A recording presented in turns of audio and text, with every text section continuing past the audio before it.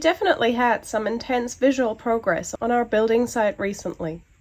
The first milestone we reached was the subfloor. We finally went from a forest of dead trees to flooring that resembles the foundations of a house. Before the last flooring sheet was delivered to site, or the bearers were fully secured to the piles, we received the invoice from the building company, defining it as substantially complete.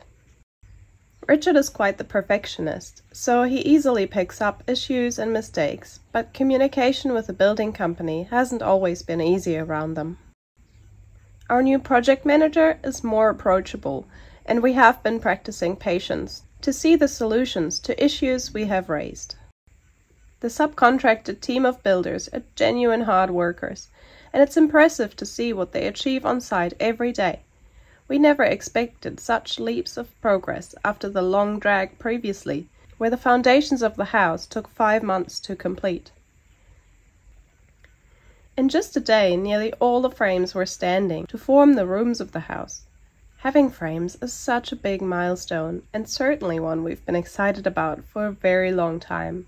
We've finally gone from staring at a two-dimensional plan to standing in actual rooms. It also helps us finalize the lighting and electrical layout we'll be doing ourselves.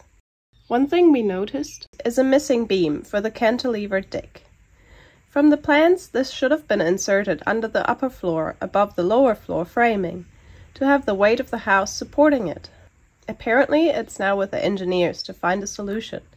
A shorter deck would compromise the best elevation view of the house, and due to the easement, we can't have any support going down to the ground.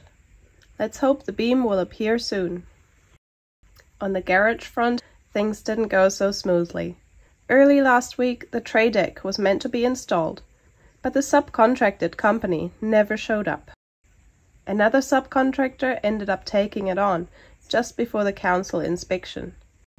We're not sure what exactly happened with council though. I phoned them directly and they told me the inspection failed.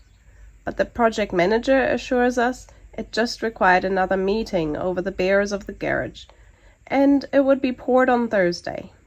Yet, after this council meeting, another inspection is now needed, and the pour delayed again. The bearers of the garage are actually a great concern of ours. Originally they were meant to be steel, and we're not sure when it was decided that they could get away with timber. But we would have at least expected them to be treated at a minimum H3.1 for exterior use above ground, exposed to periodic wetting, since these beams are exposed to weather on the sides. Instead, the bearers are treated only H1.2 for interior construction, suitable to a maximum of 18% moisture exposure.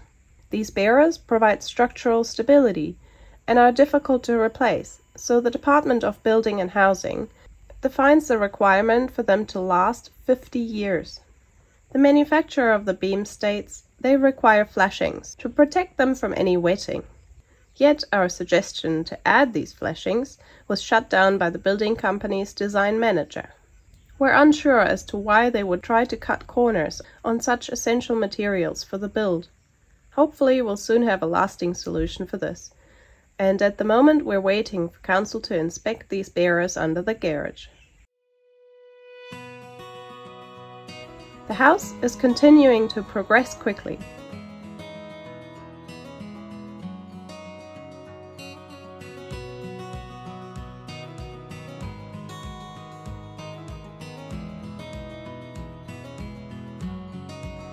and roof trusses have been going up.